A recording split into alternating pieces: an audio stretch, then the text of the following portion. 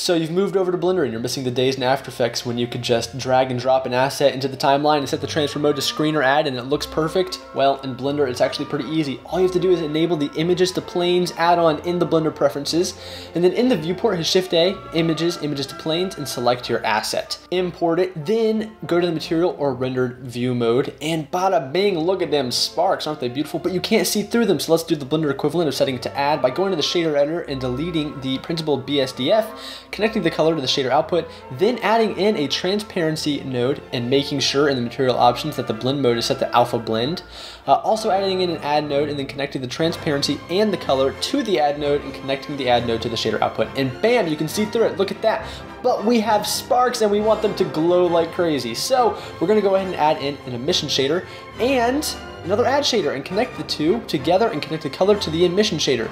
Go to the render settings if you're using Eevee, enable bloom and turn that strength up on the emission shader and look at that glow, isn't it great? I love Eevee bloom. But, you know, we have some gross looking artifacts and we don't want them to be there because they are gross. So we just have to add in an RGB curves node right before the emission shader and just play around with the curves. Mine actually automatically cured my case of artifact itis, but if yours doesn't, just play around with the curves and you can kind of boost anything you want, really. Just, you know, do whatever you want. But let's say that you have a black and white asset and you want to colorize it. Add a color ramps node instead in front of the emission shader, uh, and then just drag the black value up a little bit to get rid of the artifacts, and then you can change the white value to any color you want to make some crazy looking sci-fi sparks or just more vibrant red sparks. I don't know, you do you, I don't control you.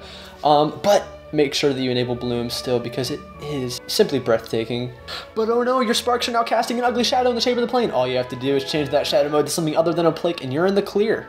Here I was changing the color of my sparks to blue because I was feeling a little frisky. Another Kext Next certified quick tip is if you go into edit mode and slide vertices up with G twice, you can like crop your asset, but if you transform your vertices in any way, like with scale, uh, you'll distort your footage. Also, if you go into the shader editor, you can actually mess around with when your asset starts, like with the start frame and offset frame, so you can choose when you want it to start in the Blender timeline. So pretty cool. Do whatever you want, play around with it. If you have different materials, you can make them start at different points.